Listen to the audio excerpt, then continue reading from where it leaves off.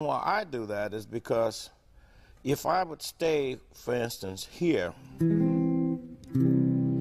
I don't see, I can't control the strings as I wish. Other words, because I got too many open strings here. So I could have gone to the C here, Right. but I, I couldn't control, and in fact, I can't even figure nothing I can do with it.